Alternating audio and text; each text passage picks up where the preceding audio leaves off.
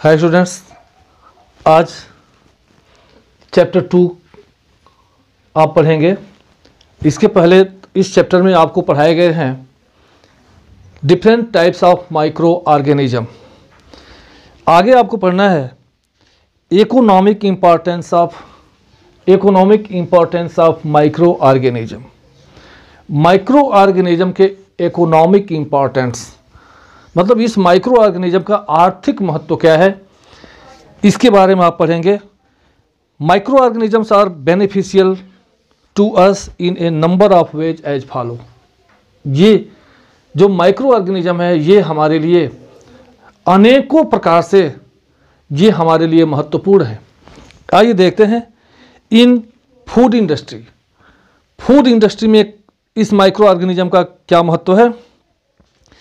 इस food industry में role of bacteria in food industry is given below कह रहे कि बैक्टीरिया का फ़ूड इंडस्ट्री में बहुत ज़्यादा महत्व है। आइए देखते हैं क्या है। कह रहे कि मेकिंग कर्ड मेकिंग कर्ड दही बनाने में कर्ड मीन्स दही। दही बनाने में बैक्टीरिया की अहम योगदान होता है। ये जो लैक्टिक एसिड बैक्टीरियम ये जो बैक्टीरिया है, वो प्लूरल है और बैक्टीरियम जो होता है, वो सिंगुलर होता है। कह कि lactic acid bacterium lactobacillus is use to make curd lactic acid bacterium जिसका नाम है लैक्टोबैसिलस ये दही बनाने में महत्वपूर्ण भूमिका निभाते हैं। ये जो बैक्टीरिया होते हैं, ये मिल्क को कर्ड में कन्वर्ट कर देते हैं दूध में। ये पहुँच करके बार बार मल्टीप्लाई करते हैं, अपनी संख्या को बढ़ाते हैं और मिल्क को कर्ड में चेंज कर देते हैं। आप दही को देखिए। अगर आप को दही को माइक्रोस्कोप से दे दिया जाए कि माइक्रोस्कोप से देख लीजिए, अब तब खाइए तो मैं पूरी गारंटी के साथ कह रहा हूँ कि आप उसको खाने की तो बात छोड़िए ना, आप छू भी नहीं पाएँगे। क्योंकि उस दही में बहुत सारे बैक्टीरिया होते हैं। लैक लैक्टोबैसिलस लैक्टोबैसिलस बैक्टीरिया जो होते हैं, वही दही को बनाते हैं। उसमें ऐसे ऐसे जो है चलते हुए आपको महसूस होंगे, लेकिन वो लाभदायक होते हैं। तो दही को बनाने में लैक्टोबैसिलस नामक बैक्टीरिया महत्वपूर्ण भूमिका निभाता है। मतलब ये जो बैक्टीरिया होते हैं, वो दही बनाने के काम में आते हैं। दूसरा, मेकिंग पीकल्स। अचार बनाने, पीकल्स बनाने में भी बैक्टीरिया महत्वपूर्ण योगदान निभाते हैं। फ्लेवर ऑफ़ बटर करके बटर के फ्लेवर को इंक्रीज करने में, बटर के फ्लेवर को इंक्रीज करने में ये जो बैक्टीरिया होते हैं, वो भूमिका अपनी अदा को करते हैं। मेकिंग वाइन शराब बनाने में शराब वाइन बनाने में ये जो माइक्रो ऑर्गेनिज्म है, जिसको हम ईस्ट कहते हैं, एक प्रकार का फंगस होता है, फंजाई, प्लूरल फंजाई और सिंगुलर फंगस। ईस्ट जो होता है, एक प्रकार का फंगस होता है और ये वाइन बनाने में महत्वपूर्ण भूमिका निभाता है। Yeast use for commercial production of alcohol and wine from fruit juice, sugar juice, फलों के जूस से, जैसे ग्रेप्स के जूस से शुगर के जूस से शुगर केन के जूस से ये वाइन बनाया जाता है। ये जो ईस्ट होते हैं, ये इस फ्रूट्स के जूस को एल्कोहल में कन्वर्ट कर देते हैं। तो इस तरह से ये जो bacteria sorry, bacteria microorganism हमारे लिए बहुत ही महत्वपूर्ण है। मेकिंग चीज़ पनीर बनाने में certain lactic acid bacteria turn the milk sour खट्टे में बदलते आप देखिएगा आपके घरों में जब चीज़ बनाना होता है तो दूध को जो होता है वो फाड़ा जाता है। इसके लिए बहुत सारे तरकीब अपनाए जाते हैं। कोई नींबू डालता है कोई आ, कोई नमक डालता है और नहीं तो जो बड़े पैमानों पर जो यूज़ किया जाता है वहाँ पे पहले का जो पनीर का जो पानी होता है, चीज़ का, उसको डाला जाता है। होता क्या है कि उसमें उसमें लैक्टिक जो बैक्टीरिया होता है, उसमें बहुत ज़्यादा होते हैं। जैसे ही दूध में डालते हैं, उस दूध को जो है शोर कर देते हैं, खट्टा कर देते हैं, दूध को फाड़ डालते हैं और पनीर बनाने में महत्वपूर्ण भूमिका निभाते हैं। तो जो बैक्टीरिया होते हैं, वो चीज़ पनीर बनाने में भूमिका निभाते हैं। Preparation of dough bread idli, dosa, bhatura dhokla. ये इडली, डोसा, भटूरा, डो, जो आपके घर में जिसको पुआ कहते हैं, ब्रेड, ये सब बनाने में ये माइक्रो ऑर्गेनिज्म महत्वपूर्ण भूमिका निभाते हैं। चलिए, आप तो हो सकता है कि बहुत सारे लोग ढोकला भी बनाते हुए देखे होंगे, इडली भी देखे होंगे डोसा भी देखे होंगे, लेकिन हमको उम्मीद है कि सारे लोग नहीं देखे होंगे, लेकिन सबके घरों में ये जो डो है, जो जिसको आप चूँकि हम लोग गाँव से रहने वाले हैं, इसलिए आपके गाँव के भाषा का नाम बताते हैं, जिसको आप पुआ कहते हैं, जो माल पुआ जिसको कहते हैं, वो आपके घरों में लगभग सबके घरों में बनाया गया होगा और सब लोग खाए होंगे और हमको लग रहा है कि आज बताने के बाद बहुत सारे लोगों के मुँह में पानी भी आ गया होगा और अपने मम्मी दादी से ज़रूर कहेंगे, थोड़ा बना दीजिए ना। तो भाई बच्चों के लिए बना दीजिए, क्योंकि इस समय जो रेसिपी जो यूट्यूब पर जो सबसे ज़्यादा ट्रेंडिंग चल रहा है, सबसे ज़्यादा अगर कोई साइट चल रहा है तो वो रेसिपी का चल रहा है। सबसे ज़्यादा सेवेंटी परसेंट के आसपास लोग रेसिपी देख रहे हैं कि कौन खाना कैसे बनाए, कितना अधिक से अधिक बनाए तो भाई आप लोग बना के इनको इन लोगों को खिला दीजिएगा। देखिए, ये जो इष्ट होते हैं, जो इष्ट नामक जो फंगस, ये इडली, डोसा, ढोकला और डो, ये डो बनाने में ये महत्वपूर्ण भूमिका निभाते हैं। आइए देखते हैं करते क्या है। अक्सर आप लोगों ने देखा होगा कि आपकी जो दादी, मम्मी, जब उनको डो बनाना है, पुआ बनाना है तो क्या करती हैं? कि वो आटे को गूंथ करके या चीनी, आटा जो भी है, पानी मिला के गूंथ करके और उसको कुछ समय के लिए छोड़ देती हैं। पहले तो हम लोगों ने देखा है कि हमारे घरों में जब हमारी मम्मी बनाया करती थी तो रात के समय ही उसको गूंथ करके और उसको ढक करके रख देती थी। हमारी मम्मी को ये नहीं पता था कि आखिर ये हमारी मम्मी ऐसे क्यों कर रही है? क्योंकि वो लोग पहले के ज़माने के लोग, इतने टेक्नोलॉजी एडवांस नहीं थी, उन लोगों को बहुत ही सारे पता नहीं था। लेकिन हम देखते थे, चूँकि हम भी जब छोटे थे तो हमको भी नहीं मालूम था कि मम्मी आखिर ये क्यों वो आटे चीनी को गूंथ करके, रात को ही गूंथ करके क्यों रख देती थी और तब उसको सुबह बनाया करती थी। तो उसको पता तो नहीं था, लेकिन वो देखते हुए, देख, देखी थी पहले अपने घरों में, अपने गाँव में, जहाँ भी है, और वही प्रोसेस वो अप्लाई करती थी। हम जब आज पढ़ने गए और पढ़ने के बाद तब हमें पता चला कि क्यों मेरी माँ जो है ऐसे करती थी। चलिए। क्यों ऐसा किया करती थी? पढ़ने के बाद जो है ये पता चला कि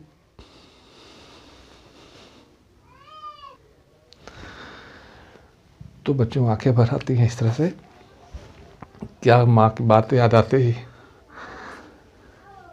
आदमी रोक नहीं पाता है अपने आप को।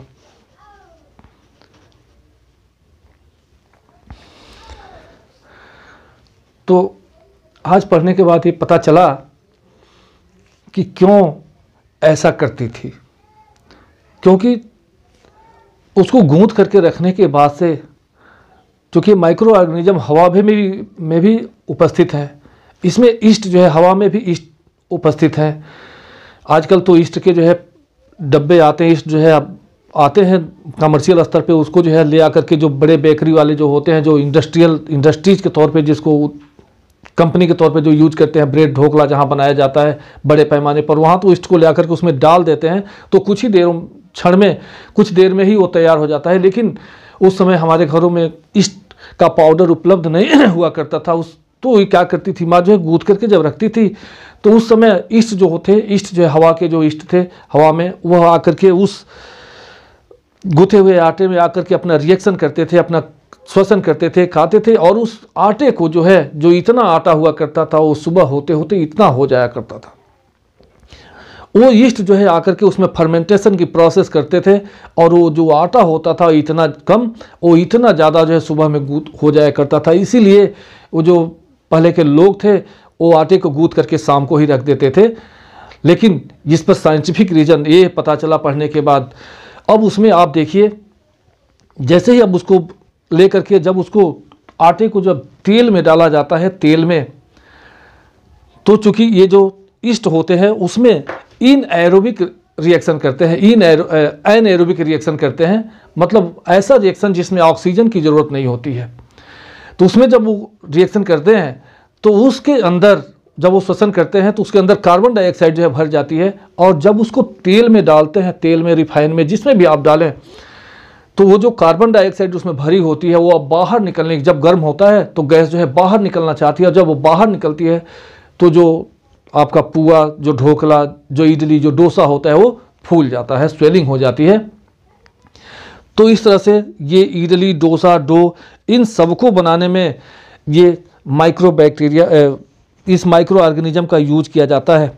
अगला है, ये तो बैक्टीरिया, फंगस की बात, अगला है, algae as a source of food, बहुत सारे एलगी को भोजन के रूप में प्रयोग किया जाता है। करें कि algae are potential source of food for all human beings in China and Japan many seaweeds are use as food करें चाइना और जापान में बहुत सारे सी बीड्स को भोजन के रूप में आप, भोजन के रूप में लोग ग्रहण करते हैं।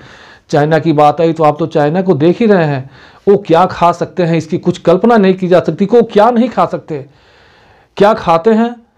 क्या नहीं खाते हैं? इनकी संख्या कम है। और क्या खा जाते हैं? अगर आप गिनना शुरू करिए, आप तो आजकल सोशल मीडिया पर देख ही रहे हैं कि यहाँ तक कि क्या नाम रखे, यहाँ तक यजगर एनाकोंडा छिपकली, बिच्छू, कोई भी ऐसा जानवर नहीं है जो चाइना वाले न खाते हों। तो ये तो रही अभी, ये तो पौधे हैं सी फ़ूड तो ये एलगी जो है, भोजन के तौर पर बहुत सारे देशों में यूज़ किया जाता है और ऐसा माना जाता है कि ये जो एलगी होते हैं वो न्यूट्रिशियस फ़ूड जो है प्रदान करते हैं। उसके अतिरिक्त ये जो एलगी होते हैं, बहुत से फ़िश के लिए भोजन का काम करते हैं। समुद्रों के अंदर, नदियों के अंदर जो एलगी पाए जाते हैं, उस एलगी को बहुत सारे फ़िश अपने भोजन के रूप में उनका यूज़ करती हैं। कैटल फ़ीड, कुछ एलगी जो होते हैं वो कैटल के चारे के रूप में यूज़ किए जाते हैं। और आइसक्रीम बनाने में में एलगी का यूज़ किया जाता है। और ह्यूमन फ़ीड कह रहे कि ये सिंगल सेल एल्गा जिसको क्लोरेला के नाम से जाना जाता है, ये माना जाता है कि पोटेंशियल सोर्स ऑफ़ फ़ूड है मतलब इसमें बहुत अधिक पोटेंसी मिलती है। और ऐसा ये भी माना जाता है कि ये potential source of food for rapid increasing human population को ह्यूमन पॉपुलेशन को बढ़ाने में ये जो क्लोरेला होता है, वो महत्वपूर्ण भूमिका निभाता है। इसी तरह से कुछ फंजाई जो फंजाई होते हैं, वो भोजन के रूप में प्रयोग किए जाते हैं। आपने मशरूम का नाम सुना ही है। ये जो मशरूम एक एडिबल मशरूम होता है, खाया जाने वाला, ये फंगस होता है जिसको लोग खाते हैं। इसके अतिरिक्त medicinal use of microorganism microorganism का मेडिसिनल यूज़ है। बहुत सारे माइक्रो ऑर्गेनिज्म से मेडिसिन तैयार किया जाता है। Preparation of antibiotics antibiotics like streptomycin erythromycin chloromycetin aureomycin ये सब एक प्रकार के फंजाई और बैक्टीरिया से प्राप्त किए जाते हैं। सबसे पहला मेडिसिन, सबसे पहला एंटीबायोटिक एलेक्जेंडर फ्लेमिन ने सत्रह सौ अट्ठाइस में तैयार किया था वो पेनिसिलियम नोटेटम नामक फंगस से। तो सबसे पहला एंटीबायोटिक एलेक्जेंडर फ्लेमिंग ने 1728 में डिस्कवर किया था, पेनिसिलिन नामक एंटीबायोटिक और उस, वह प्राप्त किया था, पेनिसिलियम नोटेटम से।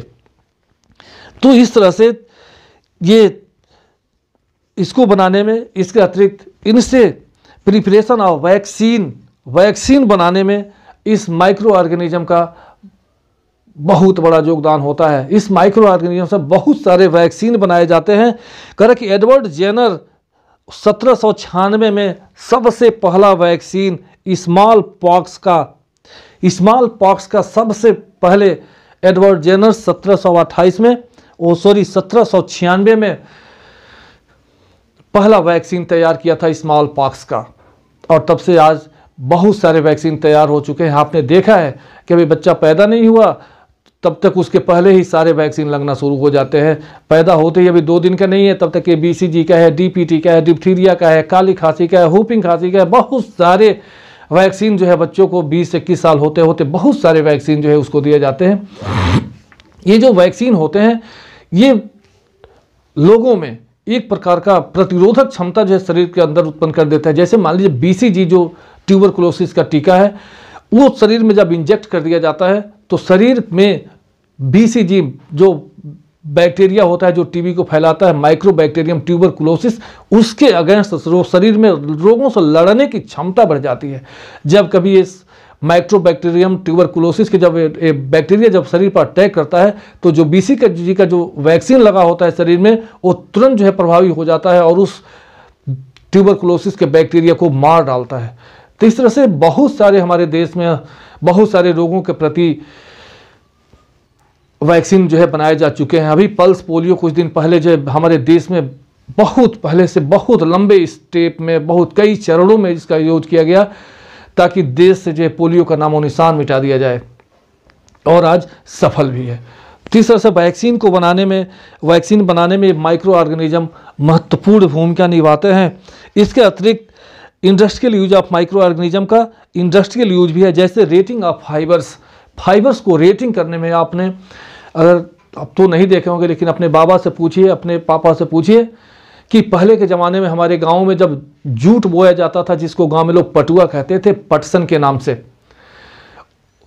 उसमें जब वो फ्लावरिंग स्टेज में जब जूट का पौधा आता था तो उसको काट करके और डंठल में बाँध करके, पूछिए बगल में अगर बैठे हुआ नहीं तो जा करके पूछिए कि सर जी कह रहे हैं कि जब पहले आपके ज़माने में जब जूट बोया जाता था, जिसको पटुआ कहते थे गाँव की भाषा बता रहे हैं। जब उसको बोते थे, काटते थे, काटने के बाद उसको क्या करता था? बंडल बना करके और उसको पानी में जो है दबाया जाता था।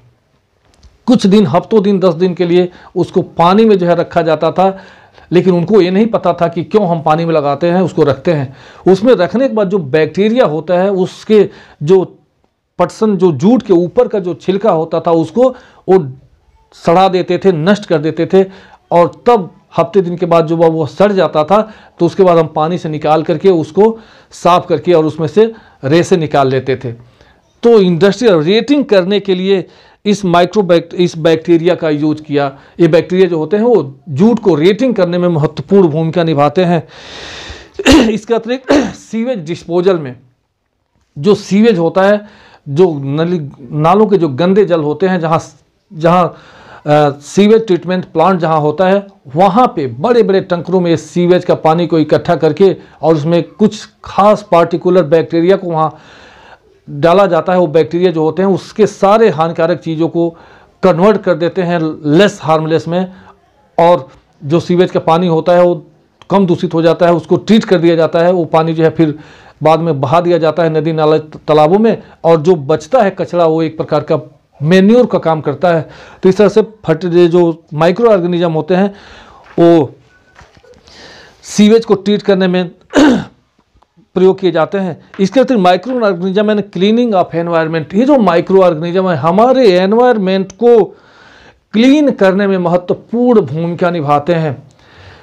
आपने देखा होगा, बहुत सारे बैक्टीरिया, हमारे घरों से जो सब्जियों के छिलके, फलों के छिलके, जो हमारे जूठे अन्न जो होते हैं, ये जो है, जब बाहर जब पहुँचता है, हम उसको कचड़े में डालते हैं तो वहाँ वह कुछ दिनों के बाद सड़ जाता है। उस सड़ाने का काम भी ये माइक्रो ऑर्गेनिज्म ही करते हैं। अगर वो नहीं सड़ाते तो आज तक ये दुनिया जो होती है पृथ्वी हमारे कई फीट का, कई किलोमीटर ऊँची जो है भर गई होती है। समझिए? इसी तरह से हमारे एनवायरमेंट को भी क्लीन करते हैं। आप सोचिए कि अगर कोई जीव मरता है तो मरने के कुछ दिनों के बाद आप अगर आप दो दिन के बाद जाएँ तो आप देखेंगे उसका शरीर जो होता है वो बहुत मोटा हो गया होता है। मतलब उसके शरीर में स्वेलिंग हो जाती है। इसका मेन कारण वही बैक्टीरिया और कुछ प्रकार फंगस जो सॉयल बैक्टीरिया सॉयल फंगस जो होते हैं, वो उसके शरीर में इंसर्ट होते हैं और उसके शरीर को डिकम्पोज करना शुरू कर देते हैं। अब जब चार दिन के बाद जाएँगे तो उसके शरीर से बैड स्मेल आपको दुर्गंध आने लगती है, उसका शरीर जो होता है वो सड़ने लगता है और सड़ने के बाद, कुछ दिन के बाद और आप जाएँ तो केवल वहाँ हड्डी बच जाती है और कुछ दिनों के बाद वो हड्डी भी समाप्त हो जाती है। इस तरह से ये जो माइक्रो ऑर्गेनिज्म होते हैं, वो जीव को डिकम्पोज करने में महत्वपूर्ण भूमिका निभाते हैं। आप सोचिए, कल्पना करिए कि अगर ये माइक्रो ऑर्गेनिज्म नहीं होते, अगर वो जीव सड़ता नहीं मरने के बाद तो क्या होता? इतने पेड़ पौधों की पत्तियाँ, टहनियाँ, फल फ्रूट्स ये सीड्स इतने जो गिरते हैं मिट्टी पर मिट्टी पर गिरने के बाद ये सब सड़ जाते हैं। इस सड़ाने का काम भी माइक्रो ऑर्गेनिज्म ही करते हैं। तो समझो कि आज तक इस दुनिया में जितने जीव मरे, अगर इनका शरीर डिकम्पोज नहीं होता, सड़ा नहीं होता तो यह सोचिए, अंदाज़ा लगा लीजिए कि यह पृथ्वी कितनी ऊंचाई तक आज तक ढक गई होती और जीवों का नामो निशान मिट गया होता, क्योंकि जीव उतने दुर्गंध और उतने गंदे वातावरण में ज़िंदा नहीं रह सकता। तो ये जो माइक्रो ऑर्गेनिज्म होते हैं, ये हमारे एनवायरनमेंट को क्लीन करके रखते हैं और जब जीव सड़ता है तो उसके शरीर के जो कॉम्प्लेक्स मटेरियल होता है, उसको ये सिंपल मटेरियल में कन्वर्ट कर देते हैं और ये मिट्टी में मिल जाता है। फिर वही पौधे इसको यूज़ करना शुरू कर देते हैं। इसके अतिरिक्त ये जो माइक्रो ऑर्गेनिज्म होते हैं, वो सॉइल फर्टिलिटी को बढ़ाते हैं। सॉइल फर्टिलिटी को बहुत सारे माइक्रो जैसे cyanobacteria also called blue green algae are able to fix the green free nitrogen from air into nitrogenous compound आप सोचिए कि हवा में 78 परसेंट से ज़्यादा नाइट्रोजन है, लेकिन हमारे जो पौधे हैं इस वायुमंडल के नाइट्रोजन को सीधे एब्जार्ब नहीं कर सकते। ये जो पौधे होते हैं नाइट्रोजन को नाइट नाइट्रोजीनस मतलब नाइट्रोजन के कंपाउंड के रूप में ही एब्जार्ब करते हैं, जैसे नाइट्रेट के रूप में।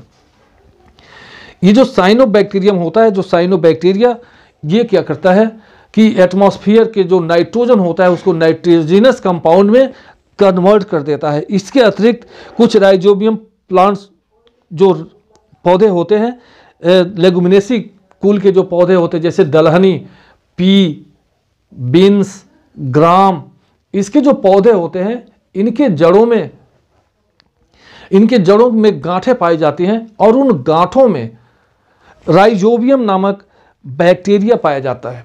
वो क्या करता है? कि ये वो एटमॉस्फेरिक नाइट्रोजन को नाइट्रेट में कन्वर्ट कर देता है और उस नाइट्रेट को जो पौधे होते हैं, वो एब्जॉर्ब करते हैं। तो ये राइजोबियम और वो पौधा जो है सिम्बायोटिक जीवन को जीवन को व्यतीत करते हैं। आपने देखा होगा कि आपके घरों में जब ये मूंग का पौधा, मटर का पौधा, चना का पौधा जब बोए जाते हैं तो उसको अक्सर लोग कहते हैं कि उसको पूरे जड़ के साथ मत निकालिए, उसको ज़मीन के ऊपर से काट लीजिए। ये साइंटिफिक रीज़न है। क्योंकि जो दलहनी फ़सलें होती हैं, जिसको हम लेगोमिनेसी कुल के पौधे कहते हैं, जो दाल कुल के जो पौधे होते हैं फैमिली के, उनके जड़ों में नोड्यूल्स पाए जाते हैं और उस नोड्यूल्स में राइजोबियम नामक बैक्टीरिया पाया जाता है। वो क्या करता है कि एटमॉस्फेयर के नाइट्रोजन को नाइट्रेट में कन्वर्ट कर देता है और मान लीजिए उस गांठों में इकट्ठा कर देता है। जब उसको ऊपर से आप काट लेंगे और अगले फ़सल जब आप बोएँगे तो जो जड़ें की गांठें होती हैं, जब सड़ेंगी तो सड़ने के बाद मिट्टी में उसकी नाइट्रोजन की मात्रा जो है बढ़ जाती है और हमें और उन पौधों को नाइट्रोजन पर्याप्त मात्रा में मिलने लगता है। चलिए अगले वीडियो में फिर आपसे मिलेंगे। तब तक लिए बाय बाय। जय हिंद, जय भारत, स्वस्थ रहिए और मस्त रहिए।